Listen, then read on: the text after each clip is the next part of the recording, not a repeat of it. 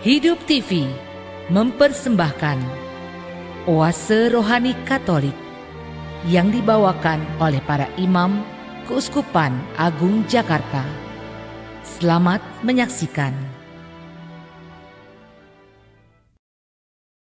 Halo sahabat Oase Rohani Katolik yang terkasih, apa kabarnya Anda semua hari ini? Semoga kita semua dalam keadaan baik dan penuh dengan sukacita. Senang sekali hari ini saya Lili Teja dapat menemani Anda semua dalam acara Oase Rohani Katolik. Dan pada kesempatan kali ini di studio telah hadir Romo Jimmy Hendrik Ransutenomat OFM yang biasa kita sapa dengan Romo Jimmy. Halo Romo, apa kabarnya Romo hari ini? Puji Tuhan kabar saya luar biasa dan saya berharap Lili juga sahabat Oase Rohani Katolik di mana pun berada juga mengalami hal yang sama. Kabarnya luar biasa. Kita percaya kabar yang luar biasa itu karena berkat Tuhan. Amin. Ya, Romo. Ya. Baiklah sahabat oase rohani Katolik yang terkasih, marilah sekarang kita menyiapkan hati untuk memulai acara oase rohani Katolik hari ini dengan doa pembuka bersama Romo Jimmy. Marilah berdoa. Dalam nama Bapa dan, dan Putra dan, dan Roh Kudus. Amin. Tuhan, syukur sembah bakti kami haturkan kehadapan hadiratmu karena Engkau menyatakan belas kasih yang tak terhingga kepada kami melalui putramu Tuhan kami Yesus Kristus yang bangkit mulia membawa sukacita bagi kami sekalian. Kehadiran dan peristiwa kebangkitan menggerakkan kami sekalian semakin beriman kepadamu sebagai Allah yang menyelenggarakan segala sesuatu atas kehidupan kami. Kami mohon anugerahkanlah roh kudusmu kepada kami, agar kami mencintai persaudaraan di antara kami, membangun kerukunan satu sama lain, sebagaimana diteladankan oleh jemaat perdana. Pada kesempatan ini kami hendak merenungkan firman-Mu Tuhan kami mohon urapan roh kudusmu agar kami dapat memahami ajaran kasihmu, dapat hayati dalam kehidupan kami, sehingga kami sungguh-sungguh dapat kau pakai sebagai alat kasihmu yang mewartakan tentang kebaikanmu. Demi Yesus Kristus putramu Tuhan dan pengantara kami, yang hidup dan berkuasa kini dan sepanjang masa. Amin. Dalam nama Bapa dan, dan Putra dan Roh Kudus. Amin. Sahabat oase rohani Katolik yang terkasih, marilah sekarang kita menyiapkan hati untuk mendengarkan bacaan liturgi hari ini. Bacaan pertama diambil dari Kisah Para Rasul bab 4 ayat 32 sampai dengan 37. Kumpulan orang yang telah percaya akan Yesus sehati dan sejiwa. Dan tidak seorang pun yang berkata bahwa sesuatu dari kepunyaannya adalah miliknya sendiri. Tetapi segala sesuatu adalah kepunyaan mereka bersama. Dan dengan kuasa yang besar, rasul-rasul memberi kesaksian tentang kebangkitan Tuhan Yesus.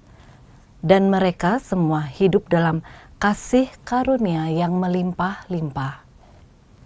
Di antara mereka, tidak ada seorang pun yang berkekurangan karena semua orang yang mempunyai tanah atau rumah menjual kepunyaannya itu, dan hasil penjualan itu mereka bawa dan mereka letakkan di depan kaki rasul-rasul, lalu dibagi-bagikan kepada setiap orang sesuai dengan keperluannya. Demikian pula dengan Yusuf, yang oleh rasul-rasul disebut Barnabas, artinya anak penghiburan seorang Lewi dari Siprus. Ia menjual ladang miliknya, lalu membawa uangnya itu dan meletakkannya di depan kaki rasul-rasul. Demikianlah sabda Tuhan. Syukur kepada Allah. Sahabat Wase Rohani Katolik yang terkasih, marilah sekarang menanggapi bacaan yang telah kita dengar dengan Mazmur tanggapan. Tuhan adalah Raja, ia berpakaian kemegahan. Tuhan, Tuhan adalah Raja, ia berpakaian kemegahan. Tuhan adalah Raja. Ia berpakaian kemegahan, dan kekuatanlah ikat pinggangnya. Tuhan, adalah Raja, ia berpakaian kemegahan. Sungguh telah tegaklah dunia, tidak lagi goyah. Tahtamu tegak sejak dahulu kala, dari kekal engkau ada. Tuhan adalah Raja, ia berpakaian kemegahan. Peraturanmu sangat teguh, baitmu berhiaskan kekudusan, ya Tuhan sepanjang masa. Tuhan adalah Raja, ia berpakaian kemegahan. Sahabat oase rohani Katolik yang terkasih, marilah sekarang kita mendengarkan bacaan Injil untuk hari ini. Bacaan Injil diambil dari Injil Yesus Kristus menurut Yohanes bab 3 ayat 7 sampai dengan 15. Tuhan bersamamu Dan bersama rohmu, Inilah Injil Yesus Kristus menurut Santo Yohanes. dimuliakanlah Tuhan. Dalam percakapannya dengan Nikodemus, Yesus berkata, Janganlah engkau heran karena aku berkata kepadamu, kamu harus dilahirkan kembali. Angin bertiup ke mana ia mau, engkau mendengar bunyinya, tetapi engkau tidak tahu dari mana ia datang atau ke mana ia pergi. Demikianlah halnya dengan tiap-tiap orang yang lahir dari roh. Nikodemus menjawab, katanya, "Bagaimana mungkin hal itu terjadi?" Jawab Yesus, "Engkau adalah pengajar Israel, dan engkau tidak mengerti hal-hal itu. Aku berkata kepadamu, sesungguhnya kami berkata-kata tentang apa yang kami ketahui, dan kami bersaksi tentang apa yang kami lihat, tetapi kamu tidak menerima kesaksian kami. Kamu tidak percaya waktu aku berkata-kata dengan kamu tentang hal-hal duniawi. Bagaimana kamu akan percaya kalau aku berkata-kata dengan kamu tentang hal-hal surgawi? Tidak ada seorang pun yang telah naik ke surga selain Dia yang telah turun dari surga, yaitu Anak Manusia. Dan sama seperti Musa meninggikan ular di padang gurun, demikian juga Anak Manusia harus ditinggikan, supaya setiap orang yang percaya kepadanya beroleh hidup yang kekal. Demikianlah Injil Tuhan. Terpujilah Kristus. Sahabat Wase Rohani Katolik yang terkasih, baru saja kita mendengarkan bacaan Injil untuk hari ini. Romo Jimmy, bacaan pertama hari ini sangat menarik ya Romo ya, karena mengisahkan soal cara hidup jemaat perdana. Nah, di awal renungan ini Romo, apa yang ingin Romo sampaikan dengan cara hidup yang menarik ini Romo? Baik Lili dan sahabat Wase Rohani Katolik yang saya kasihi, saya ingin mengatakan begini. Betapa indahnya hidup dalam persaudaraan, hidup dalam kebersamaan dengan yang lain. Bersama dengan orang lain, orang kemudian bisa bertumbuh dengan baik. Orang juga bisa merasakan keindahan, tetapi juga tidak bisa kita pungkiri bahwa kebersamaan dengan orang lain bisa berakibat buruk. Tinggal kita memilih mana yang hendaknya menjadi jalan buat kita sehingga bisa mendatangkan apa yang tadi saya katakan keindahan di dalam kebersamaan atau persaudaraan itu. Nah, tentu harapan kita adalah bahwa kita bisa mengalami keindahan dalam kebersamaan atau persaudaraan dengan siapa pun. Nah, menarik dalam bacaan pertama hari ini jemaat perdana menunjukkan kepada kita bagaimana suasana hidup bersama itu yang mendatangkan dalam arti tertentu keindahan itu. Nah, mereka hidup dalam persekutuan dan ini menjadi ciri khas jemaat perdana. Kisah tentang pasca kebangkitan Yesus, uh, mereka semakin kuat dalam persekutuan itu.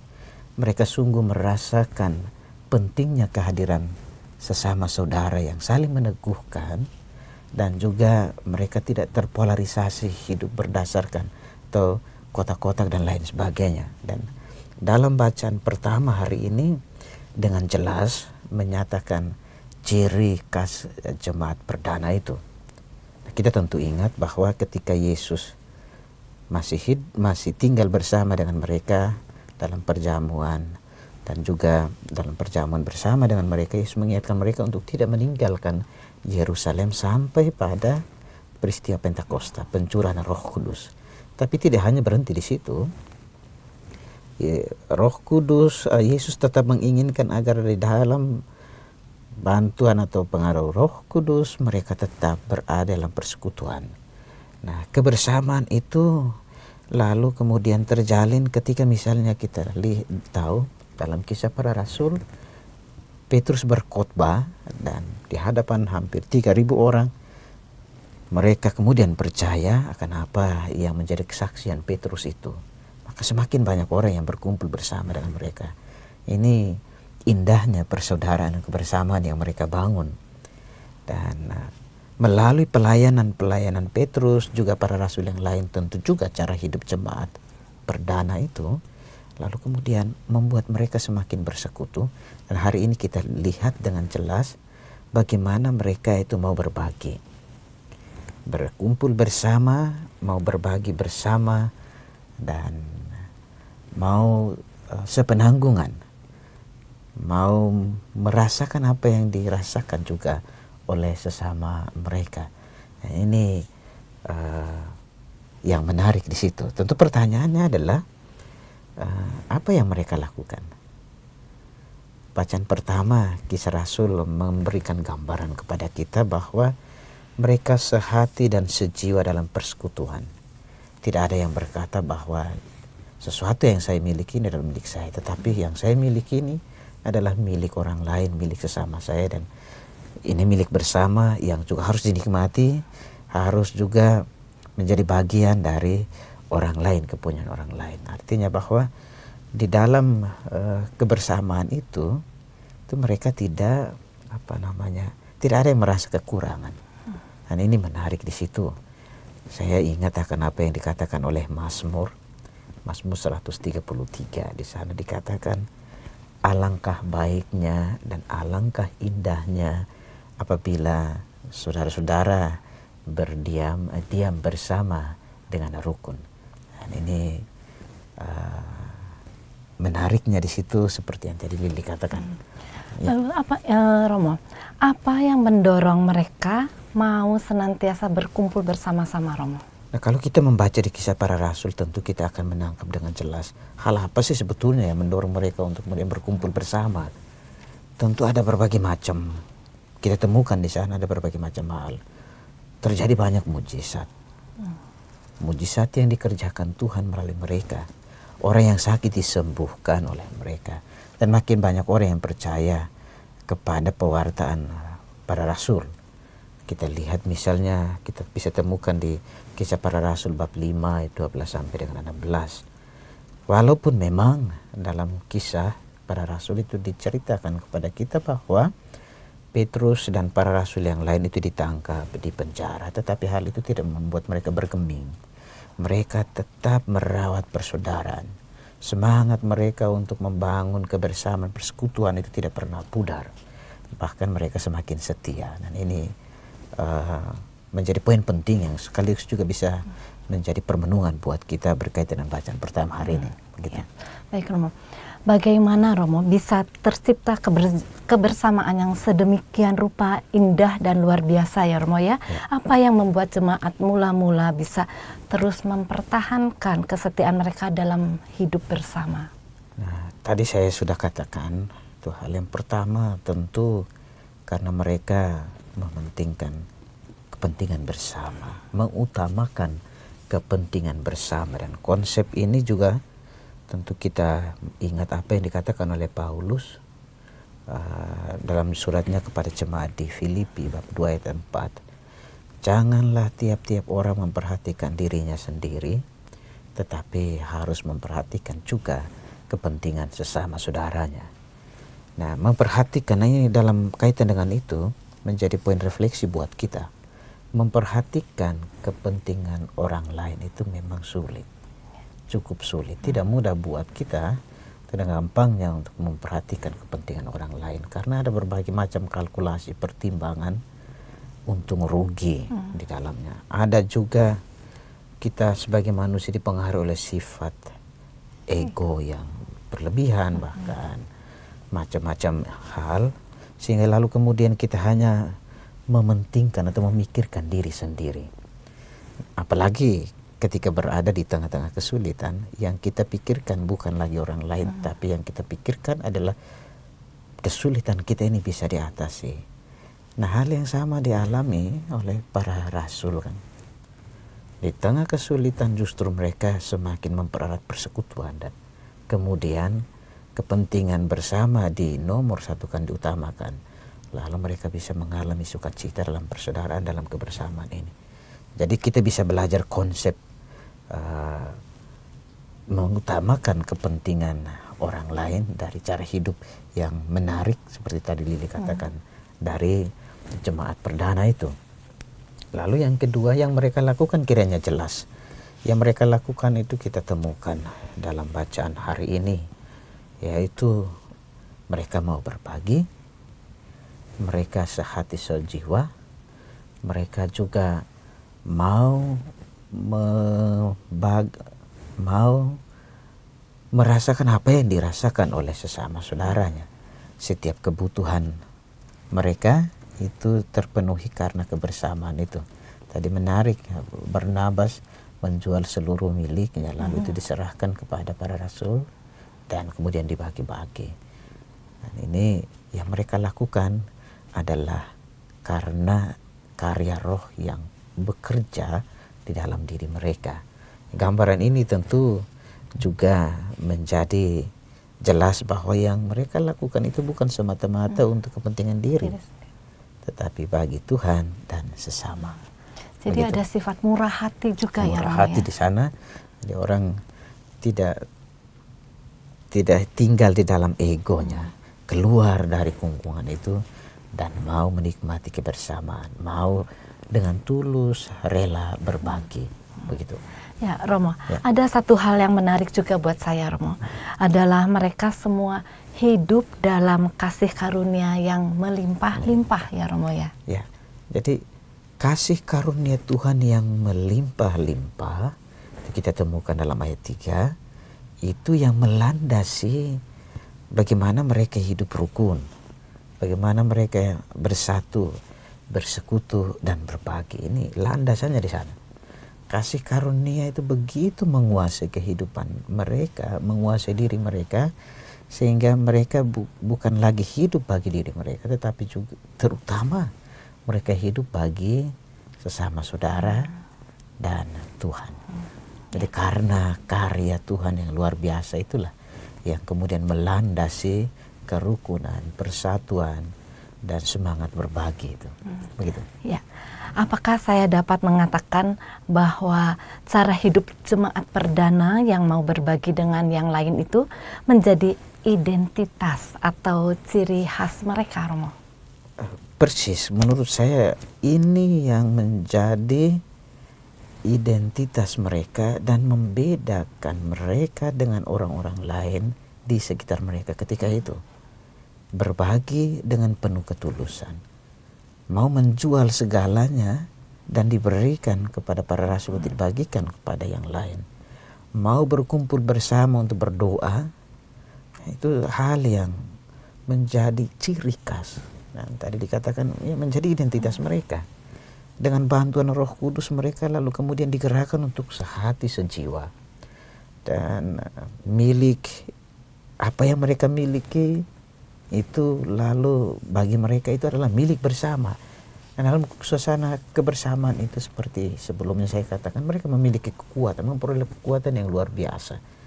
Nah, ini lalu bisa menjadi refleksi buat hmm. kita. Sejauh mana kita membangun persaudaraan menempatkan orang lain di hadapan kita. Bagaimana kita menikmati persaudaraan, kekeluargaan, dan kebersamaan dalam kehidupan kita. Kalau kemudian kita masih terkungkung dalam sikap egoisme, maka hemat saya kita lalu kemudian tidak bisa menampakkan identitas kristianitas kita. Mereka dengan jelas menampakkan bahwa cara hidup seperti ini adalah model atau cara hidup yang menggambarkan mereka sebagai orang Kristen, orang yang percaya kepada Yesus yang dibangkitkan. Begitu. Ya. Berkaitan dengan model hidup bela rasa ya. ini ya Romo, dalam ayat 36 sampai dengan 37 ya. menyebutkan Yusuf yang disebut Barnabas menjual ladang miliknya dan memberikannya kepada para rasul.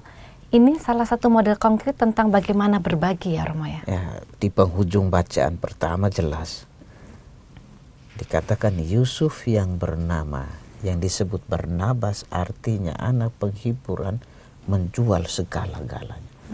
Jadi Yusuf Barnabas ini tidak sedang mencari supaya dipuja dan dipuji karena dia memberikan segala-galanya atau juga uh, jemaat-jemaat lain ketika itu.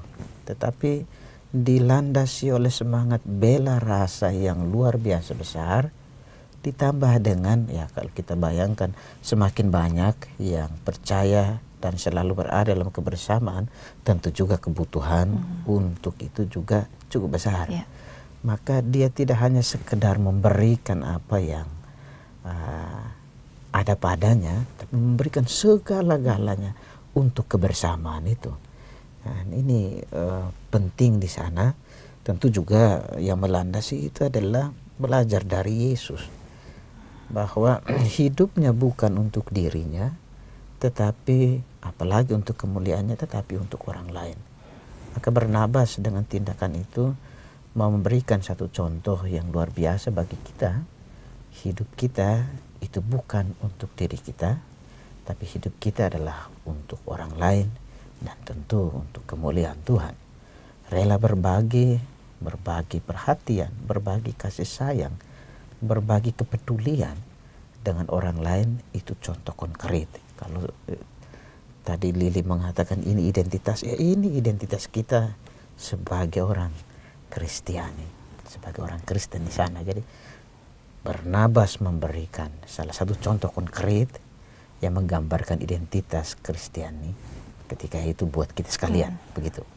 Seperti ada lagu ini ya Romo, hidupku bukannya aku lagi, ya. tapi Yesus ya. dalamku. Gitu. Ya. Jadi kita juga bisa menyontoh bagaimana Tuhan Yesus rela mati untuk manusia gitu ya, ya. Romo ya mengorbankan apa yang ada dalam dirinya demi kebahagiaan manusia. Kita pun demikian.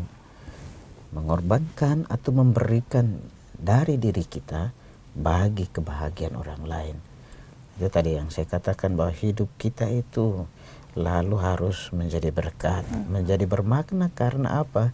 Bukan bagi diri kita, tetapi bagi orang lain. Di tugas perutusan mulia yang kita terima dari Tuhan. Panggilan Kristiani yang melekat dalam diri kita. Ya. Ya, begitu. Ya. Dari beberapa hal yang Romo sampaikan tadi ya Romo, pesan-pesan apa yang dapat kita jadikan sebagai uh, pegangan bagi kita Romo? Baik, Lili dan sahabat wasirohani Katolik yang saya kasihi, cara hidup jemaat perdana itu memberikan kepada kita sejumlah hal yang bisa menjadi refleksi, bisa menjadi pegangan, bisa kita hayati di, dalam kehidupan kita dan kita lakukan. Yang pertama adalah soal indahnya hidup bersama. Uh, itu menarik buat saya. Karena kita juga tahu bahwa tidak ada seorang pun yang hidup uh, bagi dirinya itu yang pertama, tetapi juga bahwa tidak ada orang yang dapat hidup sendiri ia tetap membutuhkan orang lain. Kehadiran orang lain lalu bisa membuat dirinya menjadi berarti. Dalam kebersamaan dengan orang lain, kita bisa sanggup melakukan pekerjaan apa pun.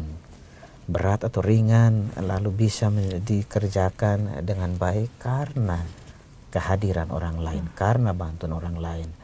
Dan untuk itu, pelajaran yang penting menurut saya buat kita adalah orang lain hadir di dalam diri kita dan kita di dalam kebersamaan membentuk apa yang disebut dengan satu teamwork teamwork yang luar biasa jemaat perdana hemat saya menjadi sebuah teamwork yang luar biasa kebersamaan mereka bukan hanya untuk diri mereka tetapi kebersamaan itu lalu kemudian menggerakkan mereka bahwa di dalam kebersamaan itu mereka menikmati kebahagiaan memperoleh kebahagiaan dan kebersamaan itu membawa mereka untuk mengalami yang disebut dengan keindahan dalam persaudaraan itu.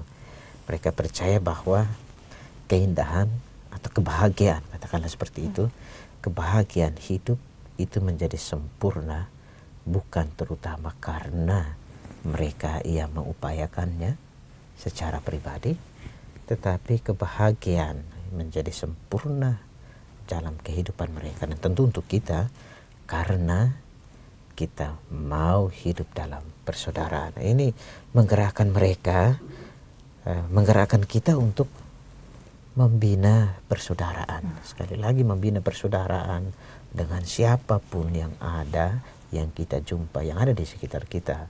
Membina kekeluargaan, merawat juga keberagaman yang ada di sekitar kita. Kita tahu sekarang kerap kali orang kemudian terpolarisasi hidup berdasarkan oh saya ini begini maka saya hanya akan mau menerima orang-orang yang sependapat dengan hmm. saya oh karena saya ini orang Katolik maka saya hanya mau uh, bergaul hmm. atau hidup saja dengan orang-orang Katolik. Kalau itu yang terjadi maka kita bukanlah orang-orang Kristen yang berhikmat. Kita bukan juga orang-orang Kristen yang bijaksana. Kalau kita menyatakan diri sebagai orang yang berhikmat sebagai orang yang bermartabat, sebagai orang Kristen yang bermartabat, berhikmat, maka kita dipanggil untuk merawat persaudaraan dengan siapa pun, dengan saling memperhatikan, dengan saling menopang, dengan saling mengasihi, dengan saling uh, mendukung, berempati, bersimpati dan lain sebagainya. Itu hal yang pertama.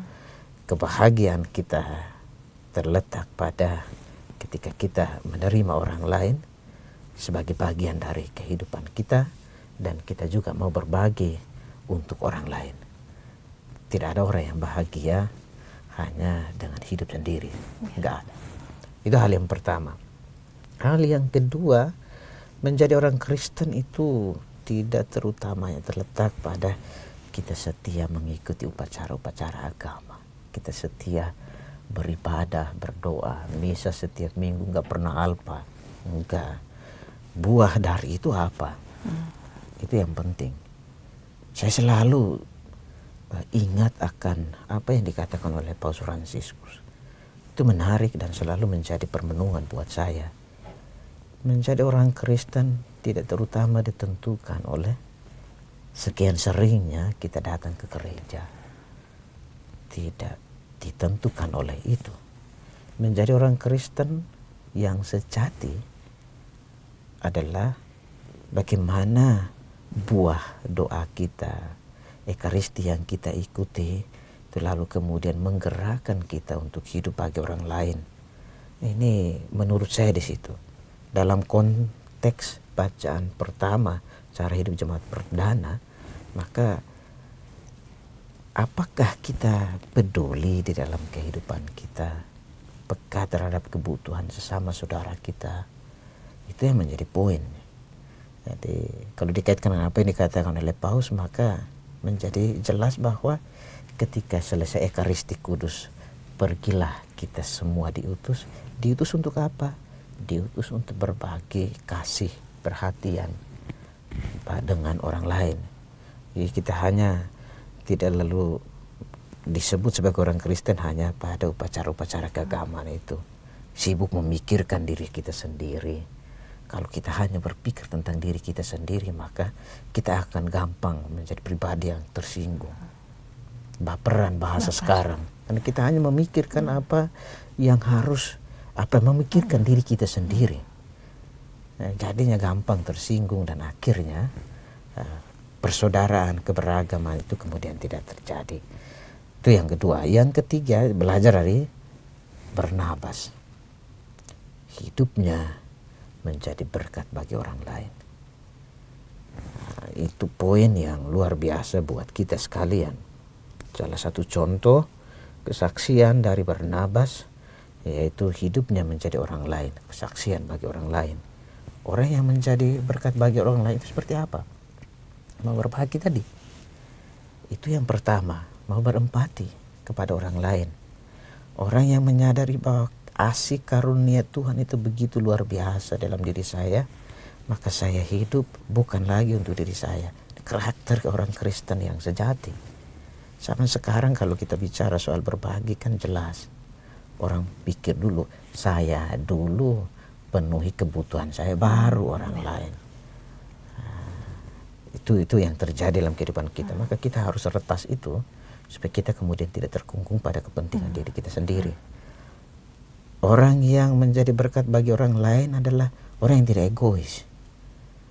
Nah, ini lawan dari uh, salah satu sikap yang harus kita lawan maksud saya jadi salah satu hal yang bisa membuat kita menjadi rukun dengan orang lain itu adalah dan menjadi pribadi yang membawa berkat itu adalah tidak egois, tidak memikirkan diri kita sendiri. Ya. Jadi itu yang bisa menjadi poin refleksi lain dari bacaan pertama cara hidup jemaat yang begitu menarik uh, bagi kita sekalian. Ya. Begitu. Dalam komunitas hendaknya hidup kita dalam kuasa Roh Kudus, hidup sehati sejiwa agar kebersamaan dan persaudaraan dapat diperhatikan. Sahabat Oase Rohani Katolik yang terkasih, kita akan jeda sejenak untuk merenungkan apa yang telah disampaikan oleh Romo Jimmy. Kita akan jumpa kembali di sesi yang kedua dalam acara yang sama, Oase Rohani Katolik. Hidup TV mempersembahkan Oase Rohani Katolik yang dibawakan oleh para imam Keuskupan Agung Jakarta. Selamat menyaksikan.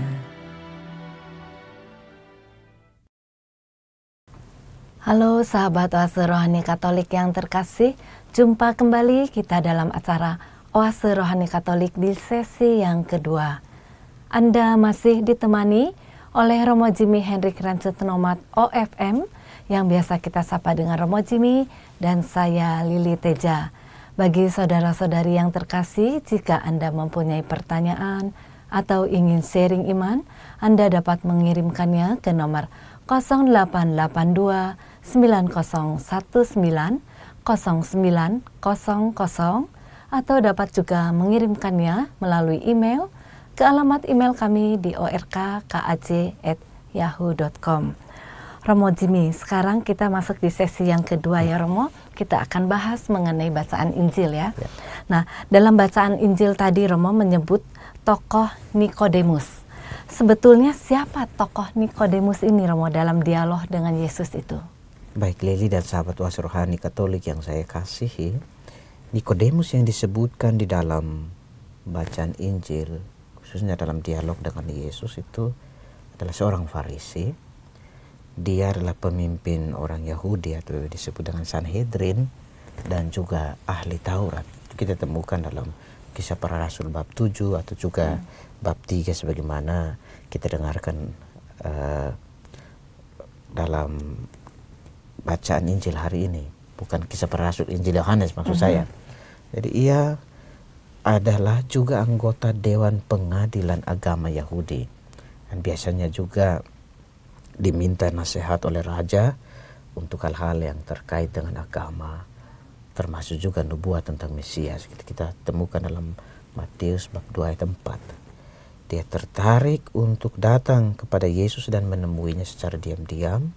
Di Yohanes bab 3 ayat 1 sampai dengan 2 lalu juga Yesus itu memanggil dia sebagai dengan sebutan itu seorang guru Israel uh, guru Israel sebutan ini tentu juga dia mempunyai pengaruh yang luar biasa di dalam kehidupan orang-orang Yahudi ketika itu.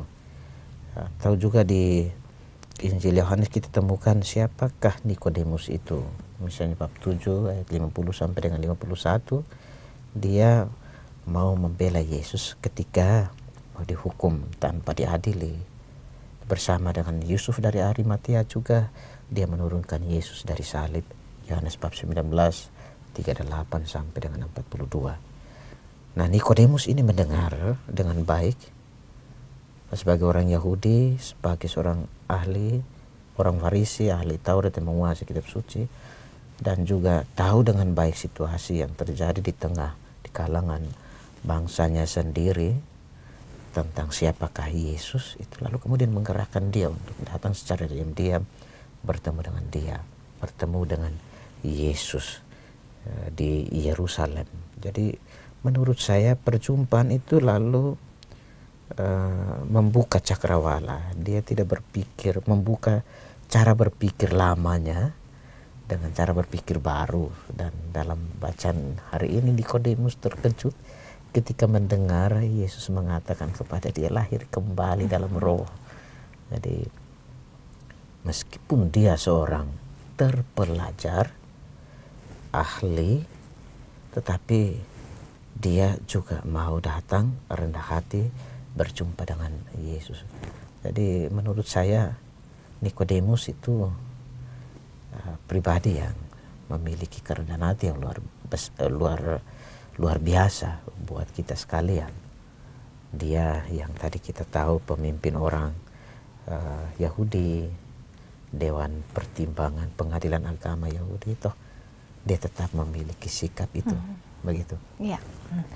Dalam dialog antara Nikodemus dengan Yesus ya Romo, hmm. hal yang paling diingat bersama adalah soal lahir kembali. Yeah Nah, tapi sebelum kita lebih jauh merenungkan pesan dari bacaan Injil hari ini, kira-kira apa relasi antara bacaan pertama dengan bacaan Injil hari ini, Romo? Ya, baik. Bacaan pertama tadi kita lihat bahwa pesan yang paling mendasar yang disampaikan kepada kita identitas secara hidup jemaat perdana, yaitu mereka sehati sejiwa, mereka sepenanggungan dengan orang lain, sehingga ada kesanggupan untuk berbagi. Mereka hidup dalam kasih karunia yang melimpah. Sehingga bagi saya korelasinya dengan bacaan Injil yang kita dengarkan terletak di sini. Kesadaran bahwa kita masih kurang jauh dari semangat yang dihidupi oleh jemaat perdana lalu menggerakkan kita untuk lahir kembali dalam roh sebagai manusia baru yang mau membangun komitmen dan semangat untuk berbagi, komitmen dan semangat untuk menyadari karya roh atau hidup dalam kasih yang melimpah itu. Jadi korelasinya di situ. Dan ini uh, dalam bacaan Injil ini yang kemudian mengarahkan kita untuk memperoleh kehidupan yang kekal. Jadi letaknya di situ. Mesti kita dibuka untuk menyadari keringkihan kita akan keterbatasan kita mewujudkan apa yang dilakukan oleh jemaat perdana sehingga cara-cara baik yang diteladankan oleh uh, jemaat perdana itu membuat kita menjadi baru dibaharui oleh roh untuk menjadi pribadi-pribadi yang dipakai Tuhan untuk mewujudkan itu begitu. Hmm. Ya. Jadi kesadaran akan keterbatasan ya. kita itu Romo menggerakkan kita untuk lahir kembali, lahir kembali dalam ya. roh gitu ya. ya Romo ya. Nah, ungkapan ini dikatakan juga uh, oleh Yesus kepada Nikodemus hmm. bahwa uh, janganlah heran karena aku berkata kepadamu kamu harus dilahirkan kembali seperti di ayat yang ketujuh ya Romo ya. ya. Nah, pertanyaannya bagi kita adalah apa artinya dilahirkan kembali dalam konteks Injil ini? Ya. Injil Yohanes yang kita dengarkan hari ini 3 ayat 7 sampai dengan 15. Kalau kita membaca bagian pertama bab 3 ayat 1 sampai dengan 6, dialog yang cukup antara Nikodemus dan Yesus untuk memperoleh kehidupan yang kekal. Sehingga ayat 7 tadi lalu kemudian dikatakan jangan engkau heran aku berkata kepadamu kamu harus dilahirkan kembali. Pertanyaannya adalah apa artinya dilahirkan kembali seperti uh-huh. Lili tadi katakan. Kita masih mencoba untuk mengikuti apa yang di, di uh, dijelaskan kepada kita oleh Yohanes dalam bacaan Injil. Bag, pertama bagi uh, penginjil Yohanes dilahirkan kembali itu terkait erat dengan peristiwa Paskah Kristus Nah bagi kita itu berarti bahwa pas dalam sebagai pengikut Kristus harus mati bersama dengan Kristus dari dosa-dosa yang kita lakukan, keterbatasan tadi ya, supaya lahir secara baru dalam kehidupan kita yang baik, entah itu dalam perkataan, perbuatan, atau pikiran, dan lain sebagainya. Jadi jangan mati bersama dengan Kristus, kita lalu kemudian bangkit mengalami penebusan, sehingga kita lalu lahir kembali sebagai pribadi yang baru. Kita kuburkan dosa-dosa kita lahir secara baru dengan cara hidup yang baru. Itu yang pertama. Lahir yang kedua lahir kembali dalam roh itu berarti hidup di dalam kepenuhan oleh Roh Kudus. Roh itu yang dijanjikan kepada kita sekalian sebagai sang penghibur. Injil Yohanes bab 14 ayat 26 atau 15 ayat 26 di sana dikatakan kepada kita. Roh itu bekerja secara efektif memberikan kepenuhan kepada kita. Sebabnya Yesus berkata, angin bertiup ke mana ia pergi, engkau mendengar bunyinya, tetapi engkau tidak tahu dari mana ia datang dan ke mana ia pergi. Roh Kudus membimbing kita menuju kepada Bapa dan tetap tinggal bersama dengan Dia. Itu yang kedua. Yang ketiga, lahir kembali berarti siap menderita seperti Yesus. Yesus sendiri berkata kepada kita untuk memandangnya ketika ditinggikan di atas bumi, disalibkan. Sama seperti Musa meninggikan ular di padang gurun seperti kita dengar dalam bacaan Injil hari ini. Sang anak manusia harus ditinggikan supaya setiap orang yang percaya kepadanya memperoleh hidup yang kekal. Jadi sambil memandang dia yang tersalib, kita semua juga menikmati memperoleh penebusan yang berlimpah kasih karunia melimpah melalui Yesus kita lahir kembali karena roh Allah bekerja dalam diri kita melalui Yesus itu gitu. Ya. E, mendengar penjelasan Yesus mengenai lahir kembali Romo, Nikodemus bertanya kepada Yesus, bagaimana mungkin hal itu akan terjadi? Seperti ya. di ayat yang ke-10 ya, ya Romo ya. Nah, berkaitan dengan jawaban Yesus itu ada hal yang cukup menyita perhatian saya Romo, ya. yaitu di ayat yang ke-12 kamu tidak percaya waktu aku berkata-kata dengan kamu tentang hal-hal duniawi. Bagaimana kamu akan percaya ya. kalau aku berkata-kata dengan kamu tentang hal-hal surgawi? Apa yang bisa kita pahami Romo dari jawaban ini? Ada dua hal. Ayat ke-12 itu dikatakan kamu tidak percaya waktu aku berkata-kata dengan kamu tentang hal-hal duniawi Bagaimana kamu akan percaya kalau aku berkata-kata dengan kamu tentang hal surgawi? Ya. Dua hal. Yang pertama, kita hidup dalam budaya instan. Sekarang begitu menggerogoti kehidupan kita. Dalam budaya instan kita tahu orang mau uh, memperoleh dengan cepat, hasil diperoleh dengan cepat tanpa bekerja uh, keras, katakanlah seperti itu. Nah, kebudayaan lalu juga ikut uh, tergerus kebudayaan ini kemudian melanda kehidupan kita orang beriman. Jika kita tidak menghidup, menyikapinya dengan baik, maka kita tentu lalu kemudian akan tergerus. Terjadi krisis iman di situ. Sehingga hal-hal duniawi, katakan hal-hal duniawi, ya hal-hal duniawi saja yang kelihatan saja itu sulit untuk dipercaya atau disadari, apalagi hal-hal yang surgawi. Hmm sehingga lewat kemampuan kita melaksanakan tugas kita sehari-hari, kiranya kita sampai pada kesadaran bahwa Tuhan ada. Tuhan berkarya. Tuhan menciptakan semua yang ada di muka bumi ini dan kemudian kita diharapkan memuji Tuhan yang setiap hari bekerja di dalam kehidupan kita.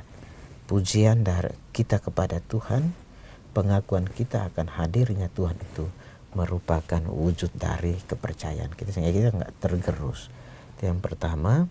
Yang kedua itu membicarakan hal-hal duniawi yang kelihatan saja itu sulit apalagi hal-hal rohani hmm. yang tidak kelihatan sehingga tadi di awal saya katakan pemikiran uh, Nikodemus itu membongkar cara berpikir lamanya lalu kemudian mengenakan pola pikir yang baru sebagaimana dikatakan Yesus kepadanya untuk lahir kembali dan ini uh, tentu sulit juga ya bagi kita menurut saya Yesus berhadapan Nikodemus yang terpelajar, bagaimana cara untuk kemudian bisa meyakinkan Nikodemus itu.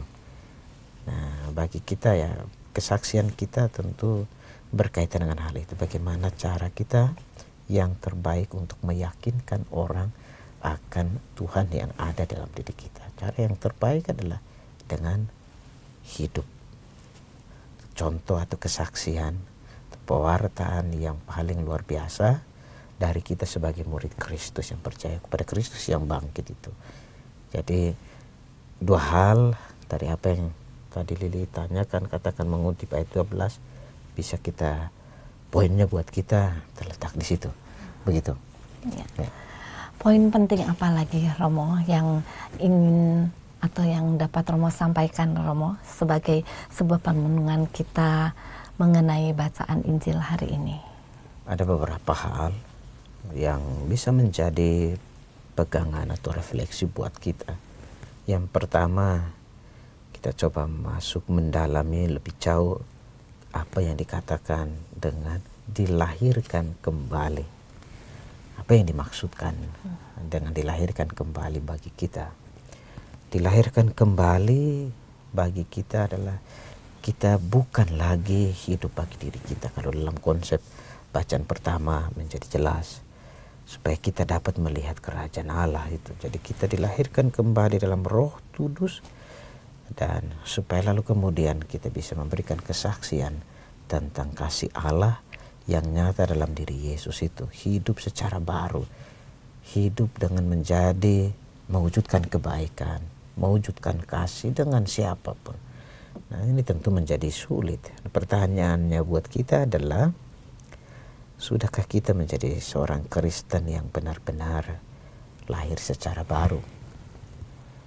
Menjadi Kristen bertahun-tahun, rajin berdoa, rajin datang ke gereja setiap minggu, atau mungkin juga kita rajin mengikuti pelayanan gereja, pelayanan-pelayanan lain, itu menurut saya bukanlah sebuah ukuran. Seperti tadi saya katakan yang mengutip apa yang dikatakan oleh Paus bukanlah sebuah ukuran bahwa kita ini sudah lahir secara baru tetapi motivasi yang melandasi keaktifan kita di dalam pelayanan kesetiaan kita di dalam mengikuti ekaristi ibadah doa dan lain sebagainya dan buah dari itu apa itu menurut saya dilahirkan kembali Eh, bagi kita sekalian di situ kita lahir di dalam tindakan dan perbuatan yang nyata.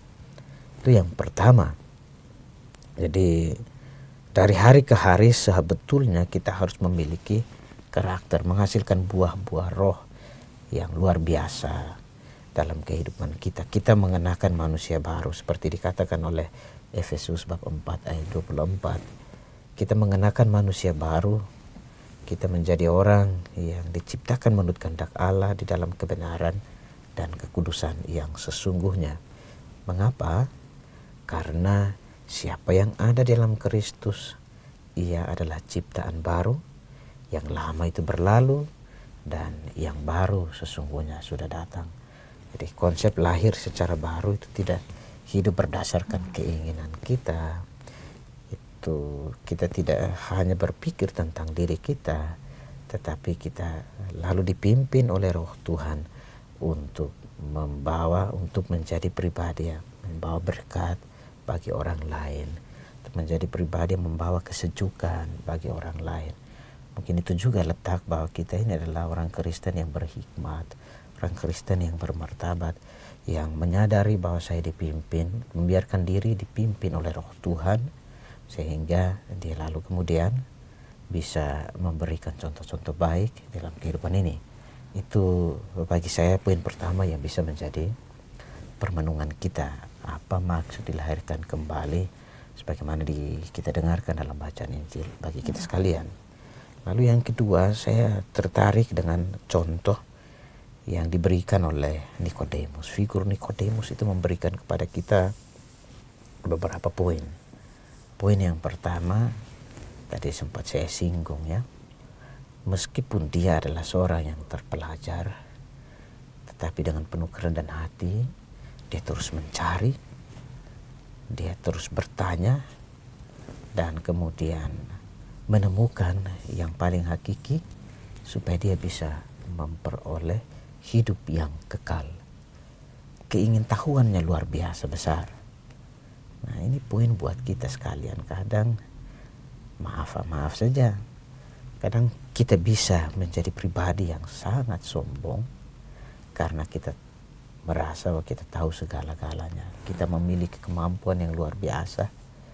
Lalu kemudian kita nggak digerakkan, tidak tergerak untuk kemudian mencari yang lebih dalam konsep uh, bacaan Injil hari ini kita tidak berusaha juga untuk mencari jalan untuk mencapai kesempurnaan itu. Nah, keingintahuan Nikodemus ini menjadi pelajaran yang luar biasa bagi kita. Ini hal positif yang bisa kita tiru. Kita mau terbuka untuk menangkapi hal-hal baru dalam kehidupan kita dan mau kemudian hidup secara baru. Kerap kali terjadi itu kita tidak mau menerima hal-hal baru dalam kehidupan kita. Dalam hidup misalnya ada hal katakan dalam hidup menggereja kita begitu tertutup atau dalam hidup keluarga juga mungkin ada hal-hal baru yang bisa menjadi alternatif untuk hidup keluarga menjadi bahagia menjadi damai kenapa enggak dilakukan kadang ah ini kan harus gini harus gini. Terjadi perpecahan dalam keluarga karena hal-hal yang sepele. Menurut saya letaknya di situ keingintahuan ada kerendahan hati hal lain adalah kerendahan hati untuk kemudian mau belajar. Dan juga mungkin ada keterbukaan ya Romo ya, ya keterbukaan kerendahan hati untuk hmm. belajar hal-hal baru sehingga kemudian hidup ini menjadi bermakna. Begitu menurut hmm. saya. Itu hal pertama kita pelajari dari Nikodemus hal yang lain Nikodemus yang ditampilkan pada kita dalam masa pasca ini dia adalah figur yang memberikan contoh bagaimana hidup uh, sebagai hidup dan berkarya sebagai pengikut dan abdi Tuhan. Di mata orang Yahudi Nikodemus itu begitu terpandang. Dia seorang figur yang luar biasa karena dia adalah seorang pengajar dan ahli Taurat. Ditambah dengan kepribadiannya yang menawan tentu saja ditambah dengan apa, apa namanya membuat dia menjadi panutan di kalangan orang-orang Yahudi sendiri. Meskipun demikian, segala atribut itu tidak dia membuat dia hanya dalam kebesaran. Yang tadi saya katakan bagian pertama itu kan begitu sombong dengan apa atribut-atribut yang tersematkan di dalam diri kita. Kita ini sebagai apa, sebagai apa, lalu kemudian membuat kita ponga. Nikodemus tidak demikian dia terus belajar mencari kebenaran yang sejati sampai kemudian dipimpin oleh roh Tuhan berjumpa dengan Yesus. Nah, hemat saya ketegaran hati kita, kepongahan diri kita lalu kemudian menutup menutupi karya roh yang tercurah atas diri kita. Kita biarkan diri kita juga dipimpin oleh roh Tuhan sehingga karena dipimpin oleh roh Tuhan kita lalu bisa menemukan hal-hal yang luar biasa, melakukan hal-hal yang luar biasa. Selain itu, bagi saya dia menjadi murid plus bagi Kristus. Murid plus bagi Kristus, uh, dia tidak ter, ter, terperangkap dalam pola pikirnya yang lama. Jadi dia menjadi murid plus uh, yang luar biasa dan ini menginspirasi kita. Karena tidak mudah menyerah juga dengan kegelapan hidup yang sedang kita jalani. Dia tahu, dia dengar kisah tentang Yesus. Dia lalu kemudian bergerak untuk bertanya. Dan sampai menemukan jawaban atas pertanyaan. Apalagi kerinduan dia adalah memperoleh hidup yang kekal. Nah, sikap rendah hati dan keterbukaan seperti tadi Lili katakan juga bisa kita hidupi uh, untuk uh, menjadi kita hidup di dalam uh, relasi kita dengan orang lain. Murid plus yang lain juga adalah kita berusaha dimatangkan untuk kemudian menjadi pribadi Kristen yang baik. Tentu ini tidak mudah, tetapi contoh Nikodemus lalu menginspirasi kita uh, untuk hal-hal itu. Hal lain adalah ini Nikodemus tadi kita di Tadi saya katakan dia mendengar cerita tentang ini. Mungkin mendengar tidak hanya hal-hal baik, tapi karena dia sebagai seorang guru punya pandangan tentang Mesias itu, dia juga mendengar selentingan yang sangat negatif hmm. tentu ya. Yeah. Dan dia tidak ikut menggosipkan. Dia tidak lalu kemudian menambah perbendaharaan jumlah orang untuk mengata-ngatai hmm. membicarakan lalu mencari cara bagaimana kemudian bisa mendepak dalam arti itu. Itu mungkin hal lain yang bisa menjadi poin juga buat kita. Kerap kali kita mendengar cerita tentang orang lain entah yang positif atau apalagi yang negatif kita lalu kemudian tidak tanya dulu tidak mencari tahu dan kita sok tahu lalu kemudian ikut menjelekkan orang hmm. lain. Sesama saudara kita Nikodemus memberikan contoh kepada kita. Dia tahu, dia dengar sebagai guru yang terpelajar dalam bahasa kita yang berbijak, berhikmat, lalu kemudian mencari kebenaran itu sampai menemukannya. Bukan kemudian tinggal di dalam apa yang dia tahu yang sebetulnya nggak benar itu. Hmm. Ini kecenderungan kita pada umumnya kan begitu sebagai manusia. Kita dengar kisah itu kita lalu kemudian apalagi yang jelek dari saudara lain, dari orang lain, terjadi adalah kita kemudian menjelek-jelekkan orang lain. Hmm. Ini juga bukan cara hidup orang yang berhikmat, orang-orang orang yang bijaksana, bukan cara hidup orang Kristiani menurut saya. Kita harus mencari sampai menemukan kebenaran itu, lalu kebenaran itu akan membuka cakrawala. Kita akan berpikir positif juga tentang orang lain, dan kemudian juga bisa menggerakkan kita untuk lebih maju hmm. begitu jadi itu hal-hal yang bisa menjadi pokok permenungan uh, bagi kita sekalian berkaitan dengan Injil hari ini begitu ya. semoga kita mau memulai untuk membangun kebiasaan rohani yang digerakkan oleh Roh ya, ya. Romo ya. ya.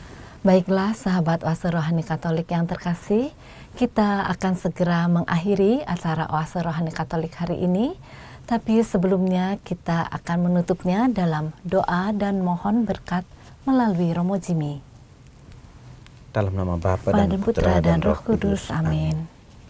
Tuhan kami bersyukur kepadamu karena Engkau menyediakan waktu bagi kami untuk mendengarkan Engkau yang berfirman, menyanggupkan kami untuk memahami firman-Mu. Maka sanggupkanlah kami pula untuk menghayati pesan firman-Mu yang kami renungkan bersama pada kesempatan ini. Semoga Engkau memakai diri kami sebagai alatmu, sebagai berkat bagi orang lain. Anugerahkanlah kepada kami semangat kerendahan hati, sebagaimana diteladankan oleh Nikodemus, sehingga kami dengan rendah hati terbuka pada karya roh kudusmu dan membiarkan diri kami dipimpin oleh rohmu sehingga dengan demikian kami menjadi pribadi-pribadi yang membawa keselamatan dan kebahagiaan bagi orang lain. Kekurangan kami, keterbatasan kami, dan juga kesanggupan kami untuk melaksanakan apa yang Engkau firmankan. Kami sembahkan semua ke dalam tangan kasih-Mu. Dan dengan penuh kerendahan hati, kami selalu memohonkan berkat-Mu, karena Engkau lah satu-satunya Tuhan yang kami andalkan dalam kehidupan kami hari ini dan sepanjang segala masa. Amin. Amin. Tuhan bersamamu. Dan bersama rohmu.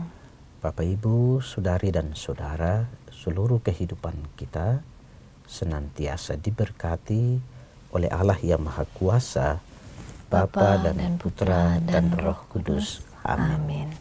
Terima kasih Romo Jimmy untuk permenungan yang tadi disampaikan pada hari ini. Semoga apa yang telah disampaikan oleh Romo Jimmy dapat memberikan semangat, inspirasi, dan sukacita bagi kita semua. Akhir kata Romo Jimmy Hendrik Rancet Nomad OFM dan saya Lili Teja mohon pamit undur diri. Marilah kita amalkan Pancasila. Kita, kita berhikmat, bangsa bermartabat. Demikianlah oase rohani Katolik yang dibawakan oleh para imam Keuskupan Agung Jakarta. Tuhan memberkati.